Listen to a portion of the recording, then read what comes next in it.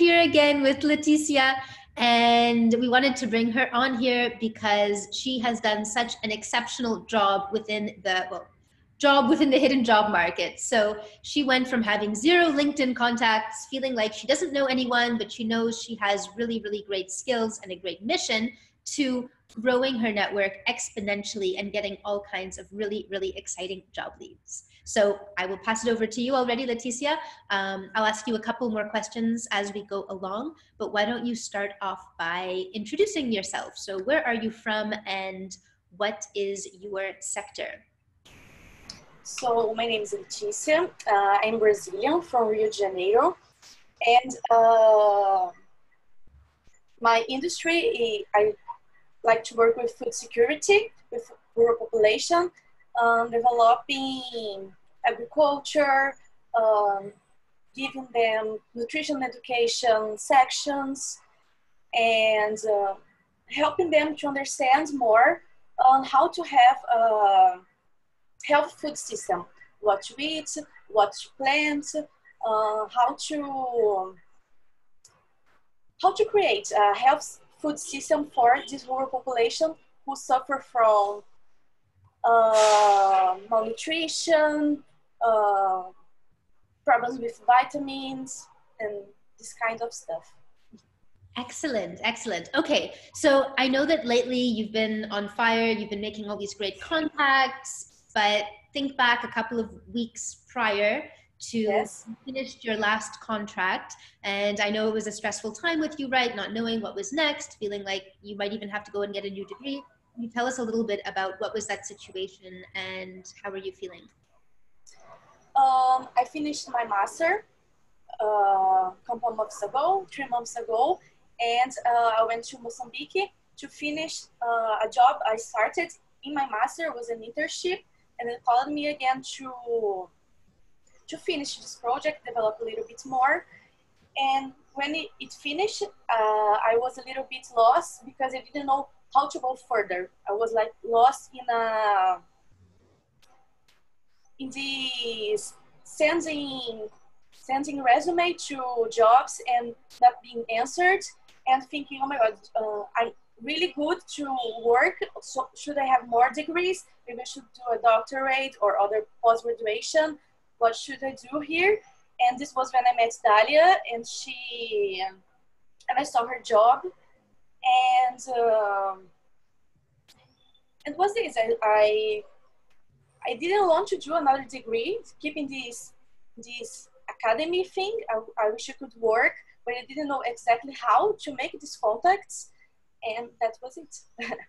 yeah, so it sounds like you did your masters, and then you were hoping after that you were feeling uh, it's that feeling of okay i do all these studies now i'm ready to be in the job market yes. get experience and so you got sort of lucky you got that opportunity to go to mozambique and you loved that opportunity but then once it came to an end you're back to square one and it didn't necessarily lead to something else right? Yes. And that kind of thing can happen like especially when you're in that scarcity job hunter mode and it's just like oh well let's see what i can get. Hopefully someone will take me either because you're going into a new sector or because you feel like it's a competitive place there aren't that many jobs out there and then it's easy to get stuck um, being like well what do i do now do i get another degree which there's yes. nothing wrong with degrees but if that's not your goal if your goal is really that you want to work that's where a lot of people end up getting more degrees and then still not getting a job because you know that doesn't really help you build the contact base that you need it makes you still in the academy still in this process of degrees degrees degrees and not really going to the the real jobs market. Yeah, I don't yes. want the world putting academia down or anything like that, but it's it's a different yes, different, a different area. So so yeah, nothing wrong with degrees if that's what you do, but if you're doing it yes. to get a job, it's very rarely the right yeah the, the most efficient approach to getting yes. that you want. Okay, so then I know we started working together and you sort of saw my method with the hidden job market. And I remember you kind of, I, I seem to remember you going, okay, this is nice, but this isn't going to work for me because I have zero contacts on the. yes. So, um, my contacts were my ex, my ex bosses, my two ex bosses, but they are some people in Mozambique are not very connected to this LinkedIn thing. Yeah. So not even them I, I had on LinkedIn. So I had no almost no contacts in this industry on my network. Mm-hmm. So, but what I what was great is that even though you were a bit skeptical, you were kind of like, oh, I don't know, I don't know if it's really going to work for me. You still did everything. I mean, I mean, you went yes. in to the point that the other week we had a call together, and you were saying, I don't know if it's working. I only have, you know, like five different people talking to me or something crazy, you know, quite a few people. And you were going, should I have more people than that or what? And I went, no, this is great. This is amazing. So yes. you really, really did, did all the steps regardless and went through it. Um, what was, what was, what were some of the contacts you were most excited about? I made contacts with some country directors from organizations, for international organizations that uh, are developing projects with rural, rural development and with food nutrition also. Uh, so organizations like World Vision, Care International, GAIN, um, UN Women, from also from some local consultancy mm-hmm. uh, companies. Uh, let me see. Also from FAO. Yeah, you have an amazing, amazing network now. And then yes. the point I think that's interesting to touch on is that after your last contract, you sort of you had your heart set on going back to Mozambique, right? Yes. And um, and then it was that whole thing. Well, how do you how do you go there? How do you get uh, work there? And a yes. lot of people think that they should. Um, a lot of people, when they don't know how to get a job in another place, they say, well, maybe I just have to go there and figure it out, right? And so yes. you decided to do that because your heart was so set on going back there, but you actually set up your entire network even before you're going to be hitting the ground. Yes. So, uh, can you tell us a little bit about that? Yes. Like, how grateful are you that you didn't just go there without doing this work in advance? Um, before leaving Mozambique this next time, I was thinking maybe that I should stay there and try to make contacts, but I was a little bit secure. Maybe I will spend all my money in this in this process and not find anything. So I started to do these connections to talk to these people, and some of them said uh, maybe it's better if you were here. It's easy if you were here. So mm-hmm. I did, I keep doing more contacts, uh, investing my time on this, making these connections, talking to these people. Uh, they were also helping me, giving me a little some tips, introducing to other people also in this industry. And they said, ah, in January we are going to start to do some to look for new people for our projects. We are starting new projects in the beginning of the year, so it would maybe nice to have you already here and I decided to go to Mozambique in January mm-hmm. when they're going to start this, uh, this process. And uh, and having all these contacts is easier because now I'm going there in the, a little bit in the dark yet, but with a lot of connections that um, I feel that this is going to happen. They, they are, I'm really going to find a job mm-hmm. through all this work, but um, yes, and that's it. Yeah. So you know what is great that you took advantage of is that because you've made these connections in advance and you've you, you've used your online presence they've gotten to know you in, in advance and they've gotten to know you as a professional because yes. you network with them they see your entire uh, cv you know when you meet people just like that in person you might make a good connection but they have no idea what you've done in the past and this happens yes. a lot even with your own colleagues or maybe your own boss your boss might, depending on how it was that you were hired and depending on their memory of if they really looked at your CV and how much they remember from it, they might completely forget about what else you've done in the past and they just see you as doing the thing that you do right now. So yes. it's ideal is what is when you do what you what you've done, which is do the online branding part, showcase yourself as the professional that you want to be in that new sector, and then go meet them in person. And obviously, if you know like in your case you were flexible enough that you can go and go to the ground you can you can go there and you can you know meet people in person. Some people that's not possible because they have a whole life that they can't just give up unless they already have a job. And so for those people they can do that in advance and they can move only when they get their position. But if you're more flexible and you have your heart set on just going there and making it happen well you know don't disregard all of this advanced work and all yes. of this branding work so you're not just getting there and hanging out and you know there are lots of people in the place that you're going, Mozambique or yes. wherever you're going, that are also competing for these jobs. So it's not just being there in person that's going to guarantee. Yes, of course.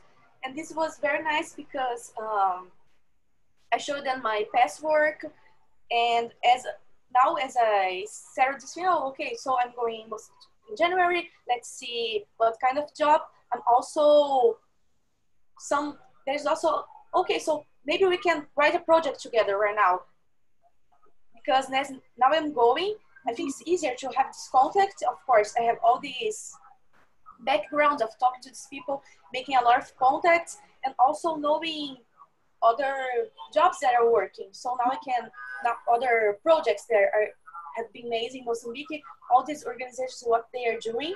Yeah. So it's also easier to build a project before a new organization or try this, this new things. Yeah, they're actually very good sorry, they're actually of creating a project together, right? So if the yes. position exists yet, oh wow, now that you are here and we see what you have to offer, let's create a project together. Yes, a project together. Mm-hmm. And it, it comes back to when you're in the hidden job market, how you can often create a position, a position which didn't actually exist anywhere on those job boards.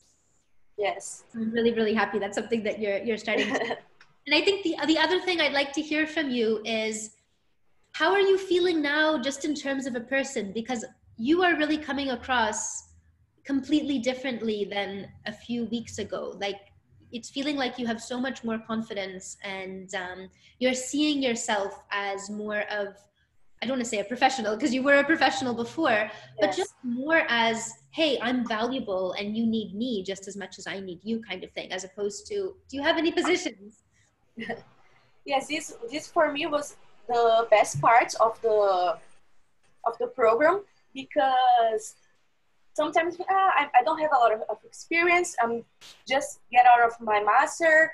How can I go to this competitive uh, industry? And was really good that, that I could saw, like I discovered, not that I discovered, but I found a lot of things that I know I could do, but I didn't think this thing was valuable. I didn't think that all my work had a value. And when I talked to these people uh, when, of course, Dalia's helped me a lot with her program to see, oh my God, I can really work on this. I have skills. I don't need more degrees. I know how to do it. Mm-hmm. So for me, this confident part was very nice. And also when I was talking to these leader industries and talking about my experience, they said, oh my God, this is so great that you did it. I'm really looking for someone who works with, the, with that. And I was, oh my God. So I really can do this. So I really have a value. So for me, this was a totally new thing. Yeah, actually, hearing confidence. One thing people talk about confidence, like, oh, let me just feel more confident and all this kind of thing. But that's that's a part of it, and also, but then the other part of it is explaining what it is that you do in a way that now they get it and now they see your value. And then the other full effect of that circle is when you hear the those people who work for places that you really admire that you'd love to work for those country directors telling you oh wow you're you have so much experience and wow you've done such interesting things and we should really work together then it's like oh yes. wow it's not just me trying to make myself feel confident but these people i admire these country directors are actually telling me that yes. then you know for sure yes and um I don't know, I, I was like, oh, okay, I work with rural population, I work with agriculture, but um, I hear some things like, ah, a lot of people don't like to do this job. A lot of people don't um, li- like to work more in the office and not in the field. So some, some things that we think that is common and everybody do this and everybody's doing this. So mm-hmm. for me, mm-hmm. it was, this for me was the best part to see that I really have a, some things that are different, some things that um, there's some things that I can really, how can I say this in, in English, to give to the company that yeah, they're needing. something that actually they don't have, that they lack, that you have, right? That's something. Yes. And I think that happens a lot where sometimes the things you think are valuable about yourself and the things that you keep saying, I can do this, I can do that, and people are writing this on their CV or saying this in their interview. Yes. And actually, sometimes employers don't care about those things at all, versus you might have something else that you think is no big deal, and that might be the thing employers want, and you haven't talked about it because you thought it was nothing, right? Yes. Excellent. I'm so excited for you. I'm so excited to see what's going to happen in January now that you have this whole list of contacts that are waiting for you to get there. Um, what would be your advice to someone who is in the position that you were in before? Um, some advice.